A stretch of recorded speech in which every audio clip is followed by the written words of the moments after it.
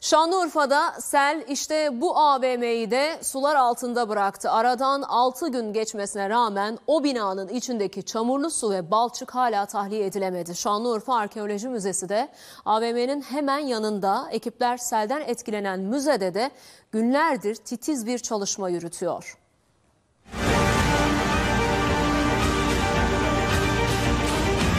Sıfır araçlar daha plaka bile takılmamış. Sular altında kalan o AVM 3 çocuk babası temizlik görevlisi Ömer Zaman'a mezar oldu. Felaketin üzerinden 6 gün geçti. İçeri dolan su ve balçığı temizleme çalışması hala sürüyor. Şanlıurfa'nın göbeğindeki alışveriş merkezinde sular bir an olsun durmuyor. Çünkü her yağışta içerisi su almaya devam ediyor. Burası da AVM'nin ürün giriş noktası. Bu alanda gölet olmuş durumda. Kentte selin izlerini silmek için ekipler aralıksız çalışıyor. AVM içi kadar araçların suya gömüldüğü otoparkta da mesai yoğun.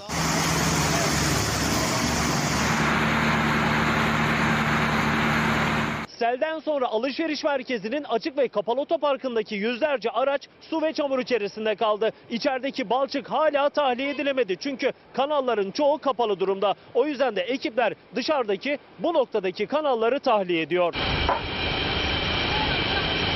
İçişleri Bakanı ve Şanlıurfa Valisi diğer heyetle birlikte şu anda AVM'ye geldi. Allah kolaylık versin.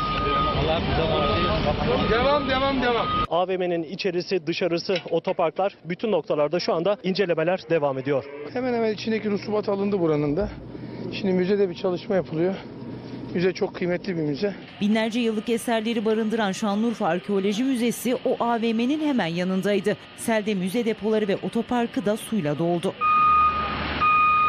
Kültür mirasının özenle korunduğu müze içinde çalışmalar titizlikle yürütülüyor. Şanlıurfa Müzesi'ni de sel bastı. Özellikle de depo alanlarını. Ekipler işte bu kutularla içerideki balçıkları, çamurları tahliye ediyor. Ancak içerideki eserlerde herhangi bir problem yok.